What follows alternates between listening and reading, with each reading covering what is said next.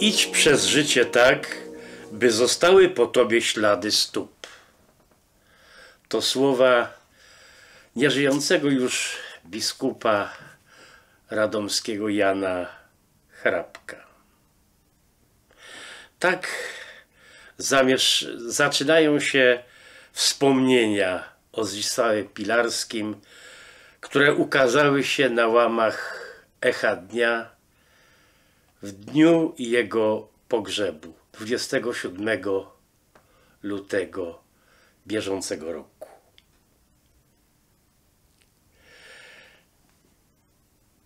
Dzidek, bo tak wszyscy go nazywali, wydeptał tych ścieżek trochę.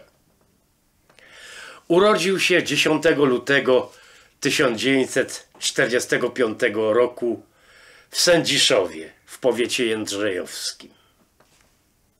Ojciec, jak na Sędziszów przystało, pracował na kolei, choć z zawodu był stolarzem i na kolei pracował, ale nie był kolejarzem sensu stricto, bo pracował w stolarni, która także na kolei była potrzebna. Dzidek z wykształcenia i z zawodu był technikiem ceramikiem. W 1967 roku trafił do kaźmierskich zakładów terenowych ceramiki budowlanej w Odonowie. Było to wielkie na ówczesne czasy przedsiębiorstwo zrzeszające szereg e, cegielni. I w ten sposób Dzidek związał się z naszym terenem do końca swego żywota. Z Kaźmierzą, Odonowem, naszym miastem, naszą gminą, naszym powiatem. Jednak jego pasją, jego pasją życiową była fotografia artystyczna. I ona spowodowała, że Dzidek po kilku latach pracy w ceramice zrezygnował z zawodu technika ceramika i związał się z Domem Kultury.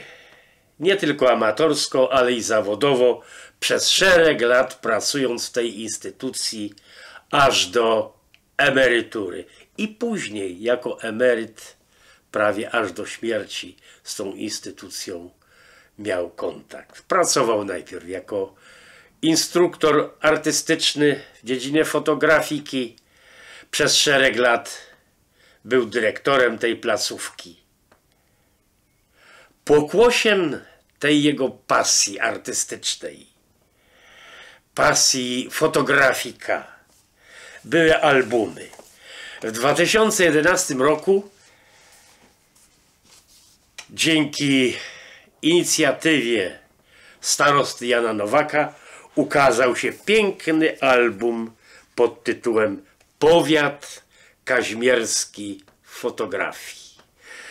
Album ten dziś już nieuchwytny w sprzedaży. Można go jeszcze znaleźć w bibliotekach. Przedstawia, ilustruje powiat kaźmierski z podziałem na pięć gmin tworzących powiat. A więc Kaźmierza Wielka, Skalbmierz, Opatowiec, Bejsce i Czarnocin. Pokłosiem tej współpracy ze starostwem była książka przed laty popełniona, że się tak żartobliwie wyrażę, przez trzech autorów. Mówiącego te słowa Andrzeja Bieniasa, nieżyjącego już Stanisława Przybyszewskiego i Zdzisława Pilarskiego właśnie. Ja wraz ze Stanisławem Przybyszewskim opracowaliśmy część historyczną i dawnego powiatu, właśnie tego powiatu, który istniał w latach 1956 do 1975, Dzidek natomiast opracował i przedstawił współczesność powiatu kaźmierskiego, tego powiatu, który funkcjonuje od 3 stycznia 1999 roku po dzień dzisiejszy. Kiedy przed kilkoma laty Kaźmierza Wielka obchodziła 60 lat praw miejskich, również ukazał się z tej okazji album Kaźmierza Wielka 60 lat miasta 1959-2019. Obydwa te albumy otwiera część historyczna, którą miałem zaszczyt napisać.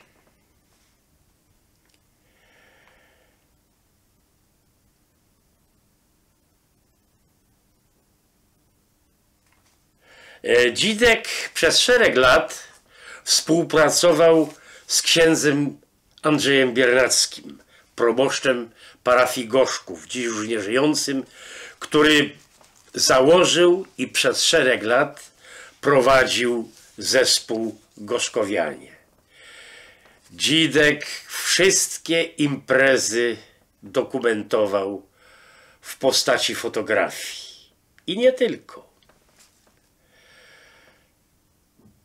Efektem tej współpracy z księdzem Andrzejem Biernackim stała się książka Gorzków z dziejów parafii.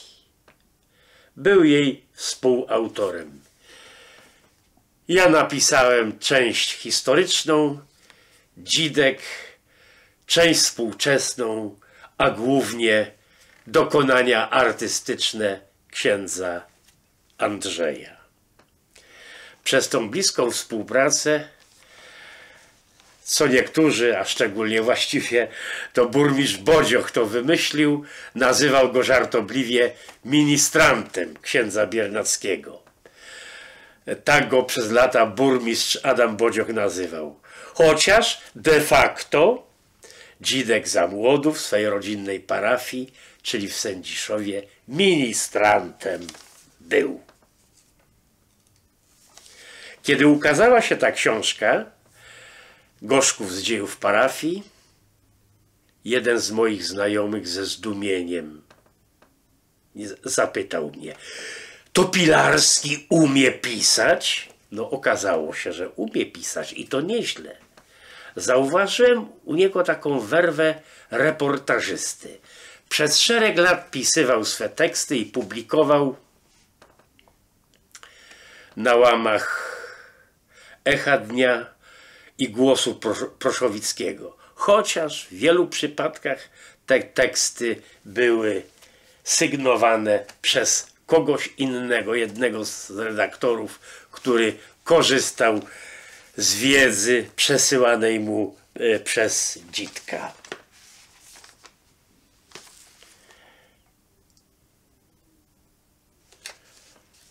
Dzitek dokumentował również życie religijne parafii wielkokaźmierskiej, o czym przypomniał e, w tym pożegnaniu wygłoszonym w dniu pogrzebu w kościele burmistrz Adam Bodzioch. Dzidek fotografował takie niezwykłe wydarzenia jak koncert ekumeniczny w wielkokaźmierskim kościele, a także w gorzkowskim kościele. Światowe Dni Młodzieży, które były w Krakowie, ale i także fragment tych Światowych Dni Młodzieży w 2016 roku odbywał się w Kaźmierzy nad zalewem. Wszędzie na tych uroczystościach, na tych imprezach można było spotkać Zdzisława uzbrojonego w swój aparat fotograficzny. Jak mowa o parafii, to oczywiście stał się współautorem książki 350 lat kaźmierskiej świątyni. No, tytuł nieco mylący, gdyż powodem wydania tej książki była 350, było 350 lat istnienia świątyni, ale książka ta opisuje dzieje parafii od jej zarania, a początki giną w pomroce dziejów. Było to prawdopodobnie gdzieś niewykluczone, że w XI wieku początki parafii albo w XII. Ale już nie wchodźmy w rozważania natury historycznej. Zachęcam do sięgnięcia e, tej książki, gdzie również opisuję nie tylko początki Kaźmierzy jako miejscowości, ale i tak powstanie tej nazwy, która wbrew pozorom nie ma nic wspólnego z Kaźmierzem Wielkim. A jeżeli pochodzi od jednego z władców, ale od Kaźmierza Sprawiedliwego. Przez szereg lat już jako emeryt Dzidek pracował, współpracował blisko ze starostwem powiatowym. O albumie już była mowa, ale również z życia starostwa, y, z przedsięwzięć różnego rodzaju publikował szereg wydarzeń, nie tylko z dzieł miasta i gminy, ale i z dokonań powiatu na łamach Echa Dnia i Głosu Proszowickiego. E, żartobliwie nazywaliśmy go, że był rzecznikiem prasowym starostwa. Dzidek potrafił również inspirować do pewnych działań. Jego pomysłem był benefis księdza Andrzeja Biernackiego. Kiedy ksiądz Andrzej Biernacki chciał podsumować swoją działalność artystyczną przez szereg lat, gdyż no, już spodziewał się odejścia na emeryturę, chciał podsumować swoją działalność artystyczną i tak w takiej rozmowie prowadzonej we trójkę podsumował tą działalność i zaproponował, by urządzić wielką imprezę jako benefis księdza Andrzeja. Był to przysłowiowy strzał w dziesiątkę. Zainteresowanie było, tą imprezą było tak wielkie, że trzeba było ją powtórzyć jako tak zwany benefis bis. Nawet autokary przyjechały z odległego Bukowna. To miejscowość koło Olkusza, gdzie ksiądz Biernacki przed laty był tam księdzem wikariuszem, ale jednak go pamiętano.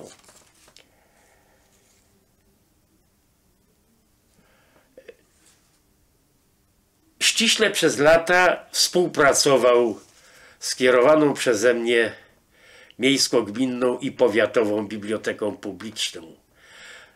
Trzeba przyznać, że i z zewnątrz widać dokonania Dzitka, bo wielki napis biblioteka od ulicy Kolejowej to również dzieło Dzitka. Było to wbrew pozorom pewne e, skomplikowane przedsięwzięcie, żeby odpowiednio spreparować ten napis, ale już dajmy sobie spokój ze szczegółami.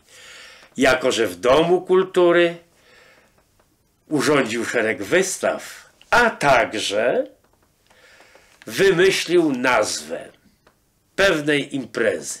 Kiedy biblioteka przed laty przyjęła imię ojca literatury polskiej, Mikołaja Reja, który nie tylko był z Nagłowic, ale ale także i Stopolej, jak się często w niektórych dokumentach yy, podpisywał.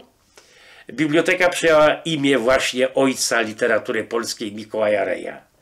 Yy, nieżyjąca już pani profesor Morska zaproponowała przed laty, by co roku urządzać cykliczne imprezy poświęcone patronowi.